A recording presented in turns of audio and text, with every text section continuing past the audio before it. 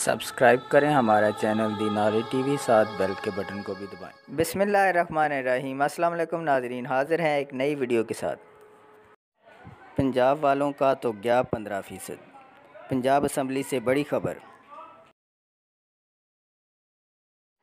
नाजरीन, पंजाब में सरकारी मुलाजमीन के लिए पंद्रह फ़ीसद डिस्पैरिटी रिडक्शन अलाउंस की समरी वज़ी अला ऑफ़िस पहुँच चुकी है, लेकिन अभी तक मंजूर नहीं हुई और ना ही इसका कोई नोटिफिकेशन जारी हुआ है। और ऐसे में एक नई ख़बर पहुँच चुकी है, जो कि मुलाजमीन के लिए परेशान कन है। पंजाब असम्बली में वज़ी अला पंजाब के ख़िलाफ़ तहरीक अदम अतमाद जमा करवा दी गई।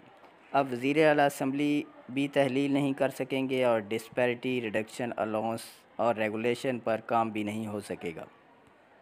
मज़ीद अपडेट्स के साथ हाज़िर होंगे। अल्लाह हाफिज़।